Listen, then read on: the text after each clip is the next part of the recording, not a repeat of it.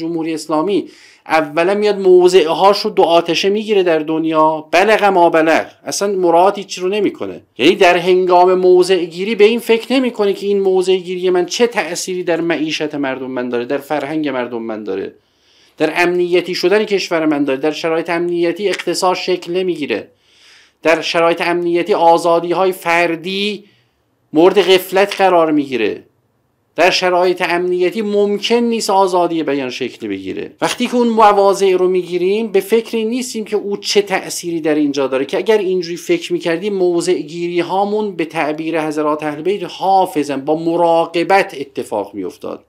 رو کلمه ها دقت می‌کردیم که اینا چه بار معنایی داره و چه آثار سیاسی بین المللی و منطقه‌ای داره و چه بر سر ملت من میاره در این قضیه این باید روشن بشه که ما بالاخره می‌خوایم مسلحت مملکت خودمون رو مقدم بکنیم بر مثلا مسلحت فلسطین. یا نه مسلحت فلسطین برای ما بلغ ما بلغ هست هر اتفاقی بیفته کوتاه نمیایم حالا دیگه کشورمون باید خودش رو تطبیق بده با اون. این باید مشخص بشه. منطق قرآن روشن فرمای لا یکلف الله نفسا الا وسعها. یسالون که ماذا ينفقون از سوال می‌کنن که چی انفاق بکنم قل العفو. زیاده زندگیتون رو انفاق بکنیم. ما ازتون تکلیف نمی کنیم یعنی حداقلش انفاق واجب اصلا ناظر به اینها نیست.